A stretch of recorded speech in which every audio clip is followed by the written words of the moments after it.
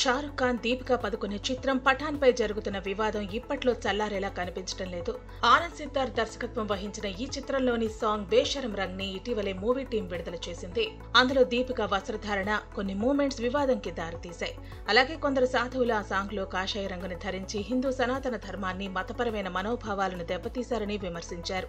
ఈ విషయంపై ఇప్పటికే పలువురు అయోధ్య సాధువులు స్పందించి షారుఖ్ మీద విమర్శలు చేశారు. అయోధ్యకి చెందిన తపస్వి చాహ్వీకి చెందిన మహంత్ పరమహంస్ దాస్ అయితే షారుఖ్ కనిపిస్తే సచివ దహనం చేస్తానని బెదిరింపులకు దిగారు.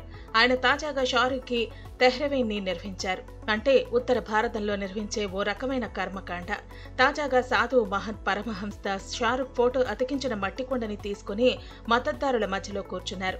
అనంతరం ఆయన కొన్ని మంత్రాలు చదివిన తర్వాత మట్టి కుండను నేలపై పడేసి పగులుగొట్టారు. సూపర్ స్టార్ తన సినిమాల ద్వారా ప్రచారం చేస్తున్న జీహాద్కు తెహ్రవీన్ ముగింపు పలుకుతుందని ఆయన అన్నారు. కాగా ఇంతకు ముందే బీహార్లో పఠాన్ విడుదలను అడ్డుకుంటామని బీజేపీ నేత హరిభూషణ్ ఠాకూర్ బచాల్ తెలిపారు. అందరికంటే ముందు ఈ పాటపై మధ్యప్రదేశ్ హోంమంత్రి నరోత్తమ్ మిశ్రా మొదట అభ్యంతరం వ్యక్తం చేశారు.